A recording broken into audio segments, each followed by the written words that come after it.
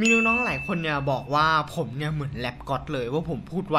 ผมยังสงสัยอยู่ตนเองเลยว่าผมเนี่ยพูดไวยังไงเอาละครับคุณผู้ชมก็สวัสดีคุณผู้ชมทุกท่านด้วยนะครับยินดีสู่รายการวิต o รี่แคทเองรายการที่ทำให้คุณเรียนรู้สู่น้องอยู่กับผมวิต o รี่แคทนั่นเองเนี่ยผมแค่พูดแค่เนี้ยแต่หลายคนบอกว่าผมเป็นแรปก็อดผมยังสงสัยเลยว่าผมพูดเร็วยังไงโอเคฮะคุณผู้ชมก็สวัสดีคุณผู้ชมทุกท่านด้วยนะครับยินดีสู่รายการ Victory Cat นั่นเอง รายการที่ทำให้คุณเรียนรู้และสนุกพร้อมเราอยู่กับผม Victory Cat นั่นเอง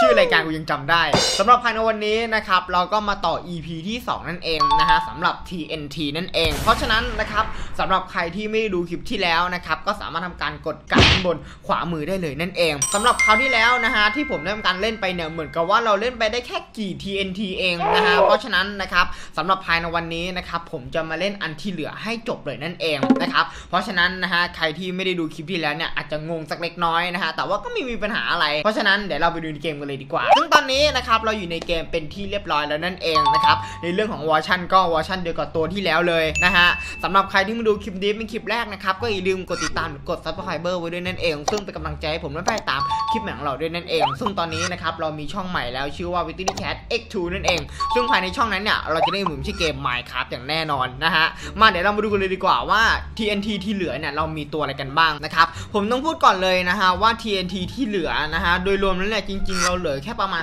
12 ตัวเท่านั้นนะฮะจริง ๆแม่งมีที่ 13 ด้วยแต่ว่าผมลบไปละ เอาเป็นว่าสำหรับตอนนี้นะฮะเราเหลือแค่ 12 ตัวเท่านั้น เพราะฉะนั้นนะฮะตอนนี้เดี๋ยวผมจะทำการดึงตัวที่แบบ easy easy สำหรับในความคิดของผมก่อนนะฮะอันนี้ผมคิดว่ามันน่าจะเป็นในส่วนของ Air p a i r ฮะคุณผู้ชมที่มันจะทำการดรอปลงมาเหมือนพวก PUBG อะไรนองนี้นะครับแล้วก็มี TNT 500อะฮะ แล้วก็เหมือนจะมี TNT พันหนึ่งด้วยนะฮะคุณผู้ชม โอ้ยโกรุนแรงนะฮะ Lightning Storm นะฮะ โอเค เราลองดึง 4 ตัวนี้มาทำการเล่นก่อนละกันนะฮะคุณผู้ชมอย่างแรกเลยคือตอนนี้ผมยังไม่มีไฟแช็กนะฮะ โอเค เดี๋ยวเรามาลองดูกันนะคุณผู้ชมอย่างเช่นในเรื่องของ teleport นะครับ teleport เนี่ยผมคิดว่าผมน่าจะเคยทำการรีวิวผู้ชมได้ดูกันไปแล้วนะฮะซึ่งความสามารถของมันนะฮะชื่อมันก็บอกอยู่แล้วนะครับว่า teleport นั่นเองนะครับมาเดี๋ยวเรามาดูกันดีกว่าว่ามันจะทำการ teleport ในรูปแบบไหน what what what what what what the fuck การ teleport ของเขานะฮะคือเราจะทำการวาร์ปไปเรื่อยๆนั่นเองนะคุณผู้ชมเห็นไหมฮะว่าบล็อกมันทำการวาร์ปไปเรื่อยๆนะฮะแต่โดยรวมแล้วเนี่ยผมคิดว่าไอ้เจ้าบล็อก TNT เนี้ยน่ะมันจะทำการเข้ามาใกล้เรามากที่สุดนั่นเองนะฮะไม่ว่าเราจะวิ่งไปไหนนะฮะอย่างเช่นผมวิ่งมาอย่างนี้แล้วกันนะคุณผู้ชมลองดูซิว่ามันจะวาร์ปมาไหมมันเหมือนกับจะวาร์ปมานะฮะแต่ว่ามันติดวัวนั่นเอง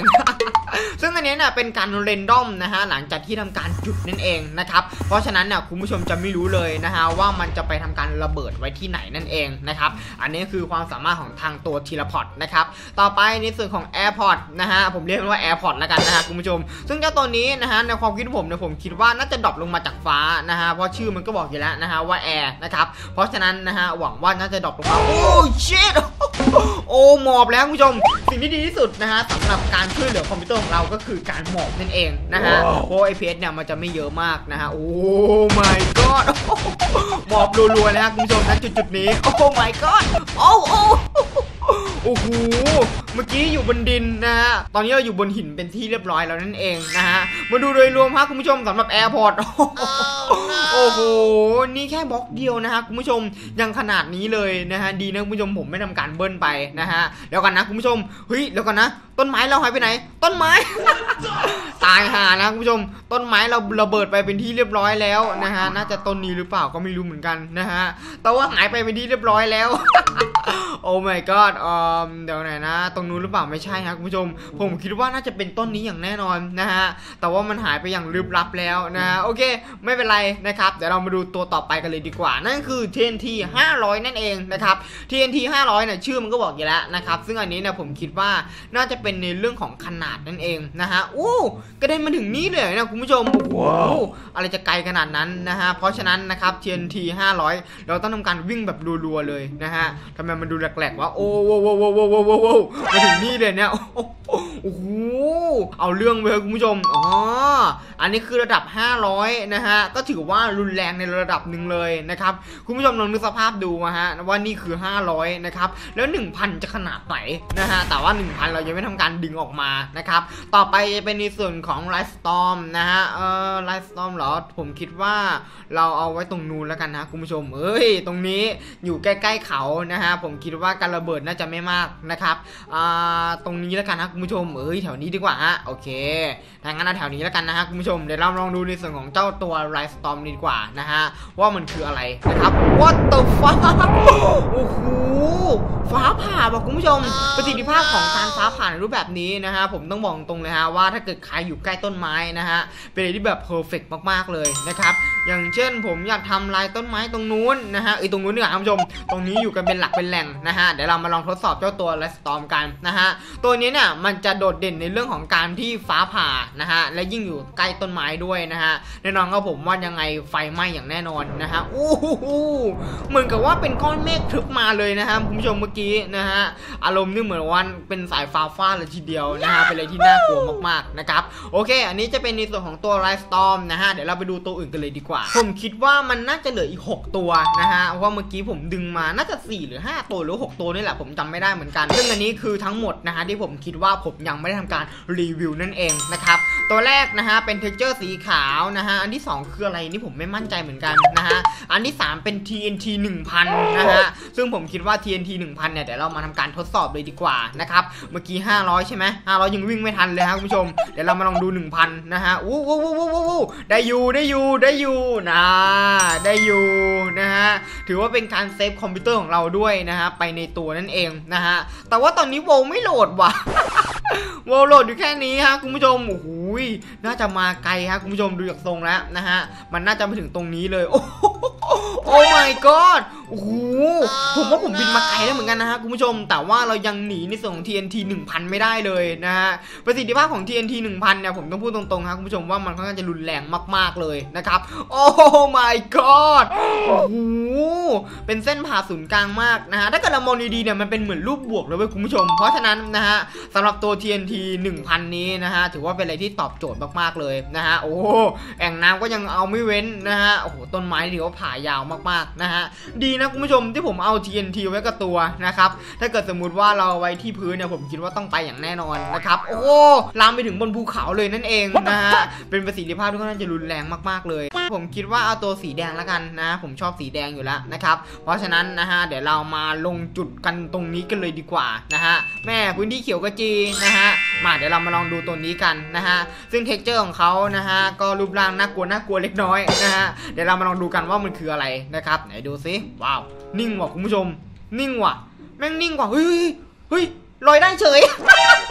ลอยได้เฉย oh my god คุณผู้ชมฮะ ผมลอยได้ แต่ที่แน่ๆเลยคือผมไม่ได้ลอยคนเดียวนะฮะแต่ว่ามีหมูด้วยนั่นเองนะครับ monster ที่อยู่รอบนี้นะฮะก็ลอยไปด้วยคุณผู้ชม เหมือนกับว่าเหลือเวลารออีกประมาณเกือบ 10 วิเลยนะฮะโอ้โหผมคิดว่าเป็นการฆ่าแบบว่าคาดคะเนมากๆเลยนะฮะเพราะเนื่องจากว่าพอหมดเวลาปุ๊บนะครับเราก็จะตกลงมาจากท้องฟ้านั่นเองนะฮะเพราะฉะนั้นนะครับถ้าเกิดเราเป็น game mode นะฮะยังไงเราก็ไม่ตายนะฮะนี่แต่ว่าพวก monster ตัวอื่นนะครับแล้วก็ player คนอื่นๆ ที่เป็นในรูปแบบของ survival นะครับก็จะตายอย่างแน่นอนเลยนะฮะเฮ้ยเป็นการฆ่าด้วยแบบว่าไม่ต้องเสียแรงฆ่าเลยนะฮะแล้วเราก็เก็บเนื้อมาได้เลยนั่นเองนะฮะอ้อใช้งานได้ดีฮะคุณผู้ชมใช้งานได้ดีนะครับถ้าเกิดสมมติว่าผมอยู่ในดันเจียนนี่ผมคิดว่าเราคงอาจจะใช้งานได้อย่างไม่เต็มประสิทธิภาพอย่างแน่นอนนะครับอ่าสองตัวนี้เหรอผมเอาสีนี้แล้วกันนะคุณผู้ชมเนื่องจากว่าเป็นสีแดงนะฮะสีแดงอันนี้มันเหมือนค่อนข้างจะเป็นเหมือนกับพวกพาร์ติเคิลมากๆเลยนะฮะโอ้เป็นไฟว่ะคุณผู้ชม อันนี้เหรออันนี้มันต้องเหมาะอยู่กับตรงต้นไม้นะฮะในเวลาเล่นแล้วนะฮะอันนี้อาจจะอยู่ในเรื่องของน้องเจ้า light storm ก็เป็นไปได้นะฮะ เป็นรูปแบบไฟเหมือนกันเลยนั่นเองนะฮะ แล้วไฟก็จะไหม้ต้นไม้นะครับ แล้วต้นไม้ก็จะลามไปเรื่อย ๆ เลย นี่ เป็นการตัดไม้ทำลายป่าอย่าง easy เลยนั่นเองนะครับ ตอนนี้นะฮะเราเหลือ 3 ตัวสุดท้ายแล้วนั่นเอง เดี๋ยวเรามาลองดูดีกว่าว่าเราจะลองตัวไหนดีนะครับ อืม ตัวไหนดีเหรอ ตัวขาวแล้วกันนะคุณผู้ชม ผมคิดว่าตัวขาวน่าสนใจนะฮะ เพราะฉะนั้นโอ้ what what the fuck what the fuck เฮ้ยอั นนี้ผม get ว่าคุณผู้ชม มันเหมือนมาทำการดูดเราโอ้แล้วทำการโยนเราด้วยนะฮะ เพราะฉะนั้นถ้าเกิดสมมุติว่าผมไปวางใกล้ monster นะฮะ อย่างเช่นเจ้าหมูตรงนี้นะครับ จะทำการดูด คุณผู้ชมเห็นไหมฮะ ขนาดผมเป็นอยู่ในรูปแบบของ game mode นะฮะ มันยังทำให้เราเนี่ยถูกดูดได้เลยนะครับ แล้วตอนนี้ผมเป็นเกมโหมดยังทำให้ผมเนี่ยไม่สามารถลอยได้ด้วยนั่นเองนะฮะโนเป็นอะไรที่แบบว่าแอดวานซ์มากนะฮะ อันนี้ก็น่าจะลองลงมานะฮะ หลังจากที่มันปล่อยให้เราตกจากบนท้องฟ้านะครับแต่ว่าอันนี้เนี่ยจะทำการระเบิดเรานั่นเองนะครับโอเคถ้างั้นเอาตัวสีนี้แล้วกันท่านผู้ชม what what what what what what the fuck what the fuck คืออะไรวะเนี่ยคุณผู้ชม โอ้ my god โอ้โหเหมือนทำการดูดบล็อกรอบๆเหรอน่าจะเป็นการดูดบล็อกรอบๆนะฮะคุณผู้ชมและให้มันเหมือนกับทำการก่อเป็นอิฐอะไรทำนองนี้นะฮะน่าจะเป็นในรูปแบบนั้นนะฮะคุณผู้ชมคุณผู้ชมจะเห็นเลยนะฮะว่าดินข้างๆเนี่ยมันเหมือนกับจะหายไปอะไรทำนองนี้นะฮะแล้วเราติดเอฟเฟกต์นานสักเท่าไหร่ไว้เนี่ย oh my god คุณผู้ชมฮะ ใครก็ได้ช่วยผมทีนะครับนะเรียบร้อยนะฮะ ไหนดูซิว่ามันเป็นยังไงนะฮะ ใช่จริงด้วยครับคุณผู้ชม มันจะทำการก่อเป็นหินในรูปแบบนี้นะครับ แล้วมันจะทำการดูดดินนะฮะ ที่เราเนี่ยทำการวาง TNT ไปนั่นเอง แล้วก็มาถึงตัวสุดท้ายแล้วนั่นเองนะฮะสำหรับภายในวันนี้นะครับมาเดี๋ยวเรามาดูตัวนี้กัน ผมคิดว่าตัวนี้น่าจะเป็นตัวหนึ่งนะฮะแล้วน่าจะเป็นตัวเดียวที่ชื่อน่าจะยาวที่สุดเลยนะฮะคุณผู้ชม ผมคิดว่ามันน่าจะชื่อยาวที่สุดเลยนะครับเพราะฉะนั้นนะฮะเดี๋ยวเราย้ายมาอยู่แถวๆนี้แล้วกันอ่าแถวนี้มีมอนเตอร์เยอะเว้ยเฮ้ยทำไมแถวนี้เหมือนก็จะเป็นแม่น้ำแต่ว่ามันก็ไม่ใช่แม่น้ำวะเหมือนก็ตรงนี้แห้งแล้งมากๆเลยนะครับโอเค เอาละคุณผู้ชมมาเดี๋ยวเรามาจุดกันนะฮะมันเป็นสายฟ้าว่ะคุณผู้ชม ไม่แน่าจะมีฟ้าผ่าโอ้ชิต อ้โห